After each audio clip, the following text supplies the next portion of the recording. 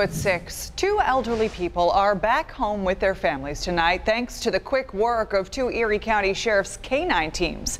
7 Eyewitness News reporter Brittany Muller introduces us to one of these four-legged heroes who, with the help of his handler, tracked down an 80-year-old woman. This is actually his first successful track. Police canines are typically known for their crucial role in searching for drugs and evidence at crime scenes.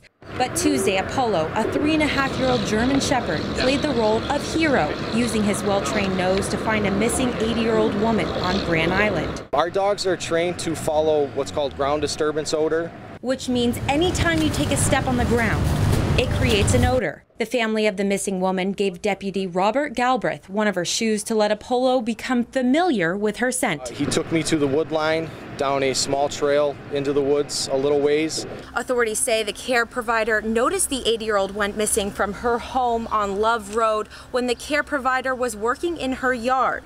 He screamed and could not find her. That's when deputies and the canine team came to her rescue. And that team, led by Apollo, found her unharmed in the woods after a 40 minute search. Just hours later in Clarence, another rescue. This time, Erie County Canine Hasso led deputies in the search for a missing 79 year old man along Hedgewood Drive. And they found him unharmed in less than 15 minutes. A track like this um, is a lot easier because it's not, there's really no danger um, that myself or my partner or, or the dog is in. Brittany Muller, 7 Eyewitness News.